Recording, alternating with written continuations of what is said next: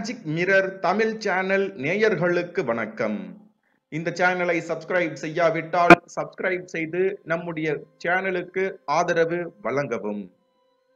இந்த வீடியோ பதிவில் நாம் உலகம் போற்றும் உத்தமரும் ஆன்மீகத்தில் அதீதமான உன்னத நிலையை அடைந்தவருமான மகா அவதார் பாபாஜியை பற்றி பார்க்க உள்ளோம். இவரை பற்றிய வரலாறுகள் தற்பொழுது வரையிலும் கிடைக்கவே இல்லை. ஆனாலும் செவிவழி செய்திகள் இவரை பற்றி ஏராளமாக கிடைத்து வருகின்றன. இவர் தமிழ்நாட்டைச் சேர்ந்தவர் என்று கூறப்படுகின்றது. இவருடைய இயற்பெயர் நாகராஜ். இவர் தமிழ்நாட்டில் உள்ள கடலூர் மாவட்டம் புவனகிரி அடுத்து உள்ள பரங்கிப்பேட்டையில் பிறந்தார் என்று கூறப்படுகின்றது.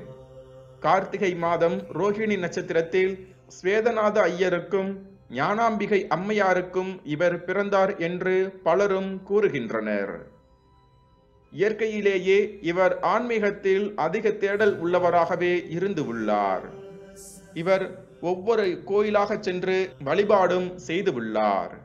திடீரென்று இவருக்கு சித்தர்கள் வழிபாட்டில் ஆர்வம் ஏற்பட்டு உள்ளது. இவர் தொடர்ந்து போகநாதரின் சீடராகவே வாழவும் ஆரம்பித்து உள்ளார். பின்னர் போகரும் இவரை சீடராக ஏற்றுக்கொண்டதாக கூறப்படுகின்றது. இவர் கிருஷ்ணரின் அவதாரம் என்றும் ஒரு சிலரால் கூறப்படுகின்றது. தன்னுடைய இளமை காலத்தில் இவர் ஞான சித்தியை பெரும் பொருட்டு ஆன்மீகத்தில் பலரையும் தேடி சென்று உள்ளார். இந்நிலையில் ஞானிகளுடன் சேர்ந்து கதிர் கிராமத்திற்கு புனித பயணம் ஒன்றை தன்னுடைய பதினோராவது வயதிலேயே மேற்கொண்டார். அங்கு இவருக்கு காட்சி கொடுத்த போகநாதர் யோக சாதனைகளையும் பயிற்றுவித்தார்.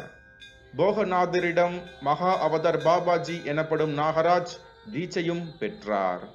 பின்னர் போகரின் குருவான அகத்தியரைக்கான திருக்குற்றால மலையை நோக்கி பயணம் செய்தார். அகத்தியரை நினைத்து நாற்பத்தி எட்டு நாட்கள் திருக்குற்றால மலையில் கடும் தவமும் இருந்து உள்ளார். இவரின் அளவற்ற தவத்தினை கண்ட அகத்தியர் மனம் குளிர்ந்து பாபாஜி முன் தோன்றினார்.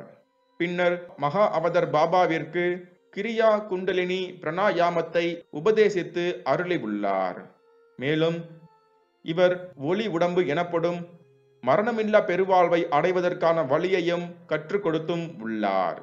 அகத்தியரின் ஆலோசனைப்படி இமயமலைக்கு சென்றார் மகா அவதார் பாபா. அங்கு பத்ரிநாத் சென்று தவம் செய்து ஒளி உடம்பினை பெற்றார்.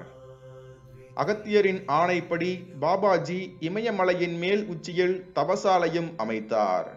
அங்கு இவருடன் பலவிதமான ஞானிகளும் துறவிகளும் இணைந்து தவம் பயின்றனர்.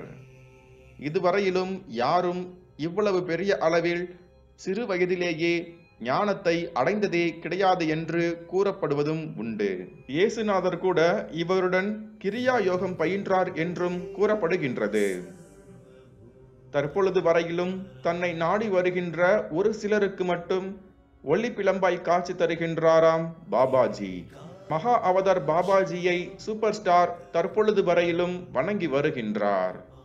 பாபா படத்தின் மூலமே மகா அவதார் பாபாஜியின் பெருமையானது தற்பொழுது உலகம் முழுவதும் சென்று உள்ளது என்றால் அது மிகையாகாது. கார்த்திகை மாதம் ரோகிணி நட்சத்திரம் அவருடைய பிறந்த நாள் என்று கூறப்படுகின்றது. அன்று அவருக்கு ஹோமம் வளர்த்து சிறப்பு அபிஷேகமும் பலரும் செய்கின்றனர். தமிழ்நாட்டில் பிறந்த சாமானியரான பாபா அவர்கள் உலகம் போற்றும் ஞானியாகவும் அனைத்தும் அருளும் வல்லவராகவும் இருப்பது தமிழ் மக்களுக்கு மகிழ்ச்சியினும் மகிழ்ச்சியான விஷயம் என்றால் அது மிகையாகாது. பாபா உள்ளிட்ட பலரும் போகர் மற்றும் அகத்தியரிடம் இருந்தே பல விஷயங்களையும் கற்று உள்ளனர். இது பற்றி யாரும் பெரும்பாலும் பேசுவதே கிடையாது. வடநாட்டில் உள்ள பலவிதமான மகான்களை நோக்கியே செல்கின்றனர். ஆனால் உண்மையில் வடநாடுகளில் தவம் இருக்கும் ஞானிகளும் துறவிகளுமே போகநாதரையும் அகத்திய மகர்ஷியையும் நோக்கியே தவம் செய்வது யாரும் அறியாத யாராலும் ஏற்றுக்கொள்ள முடியாத உண்மையிலும் உண்மையாகும். நீங்கள் மகா அவதார் பாபாஜியை பற்றி என்ன நினைக்கின்றீர்கள்? அவர் பற்றிய தங்கள் கருத்துக்களை கமெண்ட் பாக்ஸில் பதிவு செய்யவும். நீங்கள் எவ்விதமான வீடியோக்களை எதிர்பார்க்கின்றீர்கள் என்பது பற்றிய தகவலையும் கமெண்ட் பாக்ஸில் பதிவு செய்யவும். மேலும் இது போன்ற வீடியோக்களுக்கு மேஜிக் மிரர் தமிழ் சேனலை சப்ஸ்கிரைப் செய்யவும். மறக்காமல் பெல் சிம்பலை பிரஸ் செய்யவும். நன்றி.